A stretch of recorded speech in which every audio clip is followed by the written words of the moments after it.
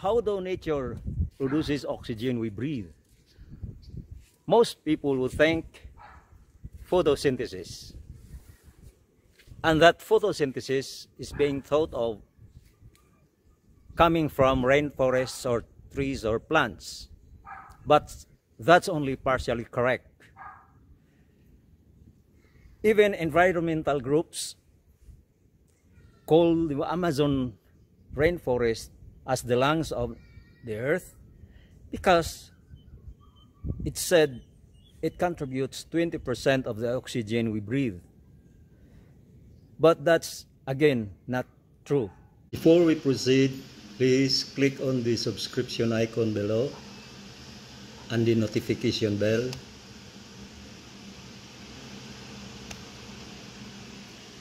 And also the like button. The purpose of this video is to explain scientifically, in real science and empirically, why most of the oxygen we breathe do not come from rainforest or trees. Before we go on further to find out how nature produces the oxygen we breathe, let's step back in time and uh, we delve into why we need oxygen anyway. Now there are two groups on this earth, the so-called autotrophs and the heterotrophs. Autotrophs manufacture their own food. These are plants, algae, and many bacteria, usually it is by photosynthesis.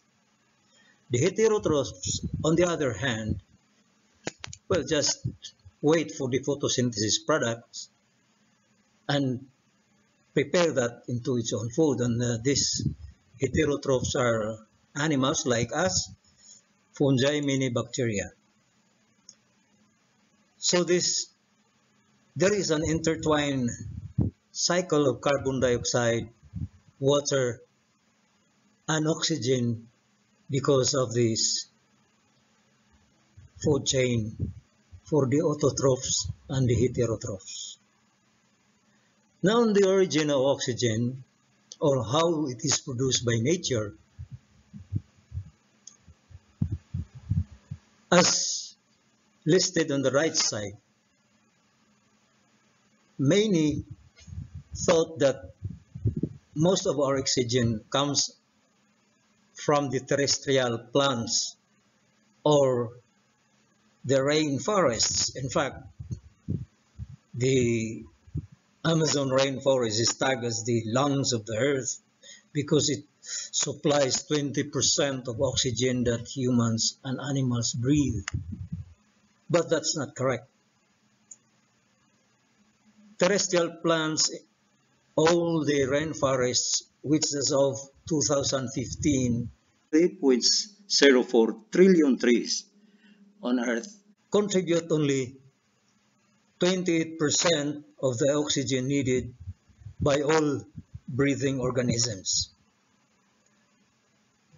The other source of oxygen on the, our atmosphere is the photolysis of water vapor.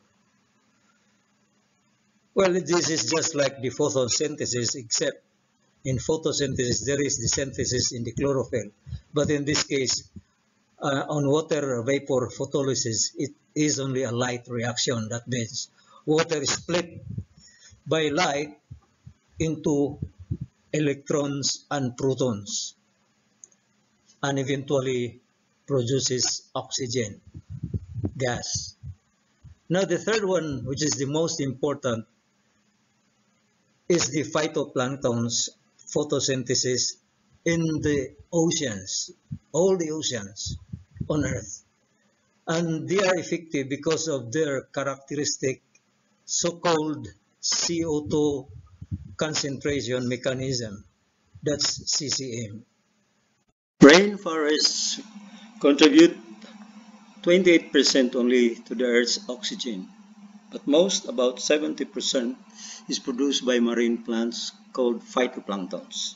The remaining 2% Earth's oxygen supply comes from the photolysis of water vapor in the atmosphere by the sunlight.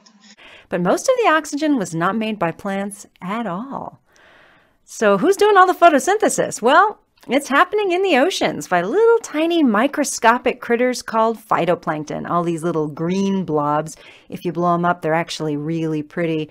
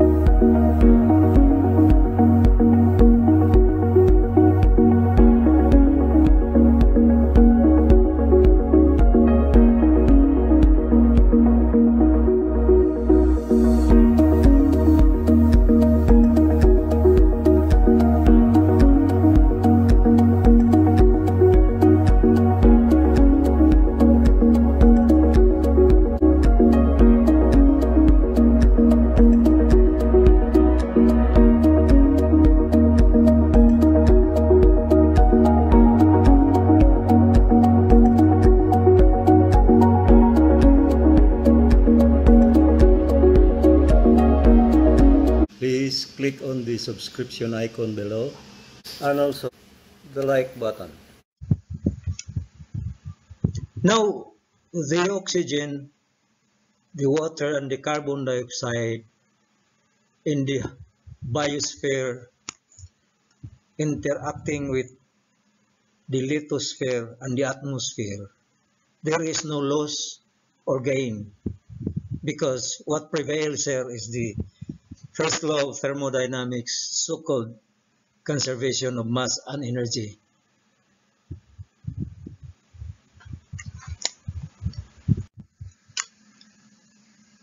Because others are worried about fire burning California or the Amazon forest or the outback of Australia. But you see, the funny thing guys, when you burn, well, I mean, burning forests is not good because diversity and other biodiversity and other important things there are destroyed.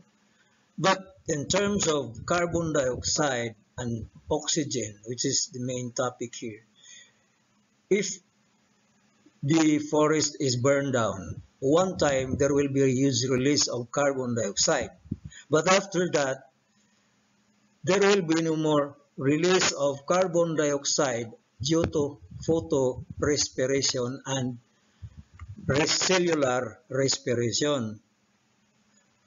Now, unknown to most people, forests also produce carbon dioxide. In fact, half of the oxygen they absorb, which is converted to cellulose, starch, or sugar, is converted back into carbon dioxide during the, the cellular respiration process. But by nature equilibrium, there is a net positive amount of oxygen released by plants in the rainforest or the terrestrial plants for that matter. And this is equivalent to 28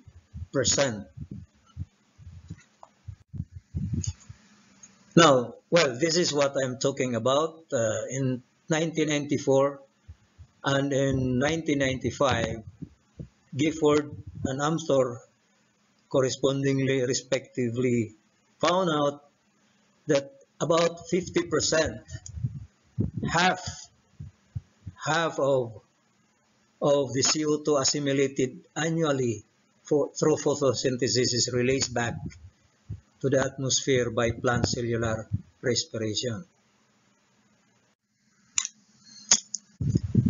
In fact, in the combined research of RIPE, which means realizing increased photosynthesis efficiency, and UNIPCC. UNIPCC means United Nations Intergovernmental Panel for Climate Change. They conducted an experiment in a greenhouse. Now at that time, about five years ago, the concentration of, of carbon dioxide in the atmosphere was 400 ppm. Now they tried to determine, because normally plants loses oxygen through a process called photorespiration. This is a side reaction of oxygen with the ingredients inside the chlorophyll competing the reaction of carbon dioxide with the ingredients inside the chlorophyll and mainly RUBP or ribulose 1,5-biphosphate. The loss due to photorespiration indicated here as loss to PR as encircled in red is 31%. Now when they increase the CO2 concentration from 400 ppm to 450 ppm in a greenhouse experiment, the photorespiration loss decreased from 31 to 25%. And then when they increase the CO2 concentration further to 1000 ppm, the photorespiration loss has reduced further to 14%. Now, if we look at this, this is the reversible equation of photosynthesis and cellular respiration. During photosynthesis, with the help of energy from the sun, carbon dioxide and water forms glucose or cellulose uh, or starch plus oxygen. This is the extra production here is the one we breathe, which is equivalent, again, I have to repeat it, 20% of the total supply. Now, on the other hand, during respiration, half of this oxygen, because it will also consume about half of what it has produced carbohydrates, will react in the process of res cellular respiration to produce back carbon dioxide and water and release some energy and heat.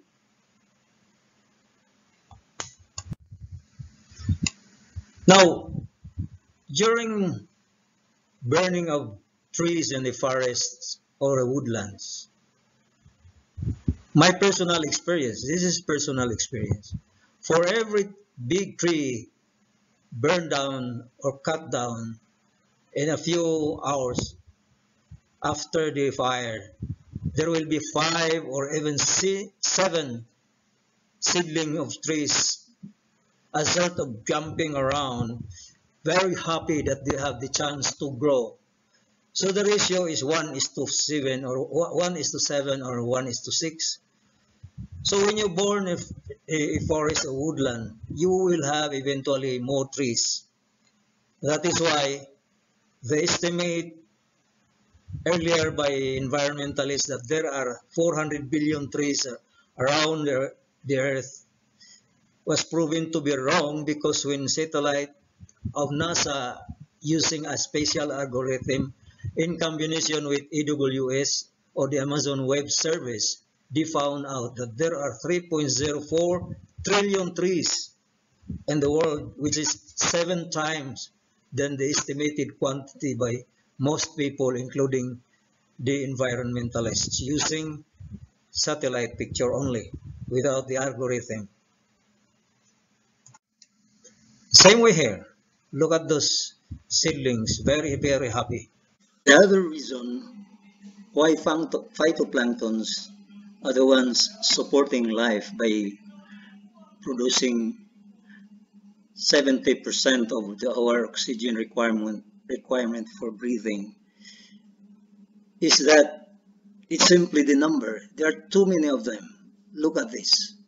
In the austral summer, austral meaning south. That's why you can see the Antarctic continent and Australia and the tip of Africa. There are too many of them, not only in the south, but as you can see, as indicated in the upper right corner, it's called boreal summer because it's in the north. So there are still plenty in the north of phytoplanktons. The one in green or blue, that's phytoplanktons. Well, the Black Sea do not want to be left behind. They also produce a lot of oxygen because there are lots of phytoplanktons also there. How many trees are there in a forest? What about a country? How about in the whole world? The answer, we now know, is that our planet is home to 3.04 trillion trees. That's actually almost eight times more than we thought, as previous estimates were only based on satellite pictures. But now, we have data not just on how much land is covered in forest, but how dense those forests are as well. Please click on the subscription icon below and also the like button.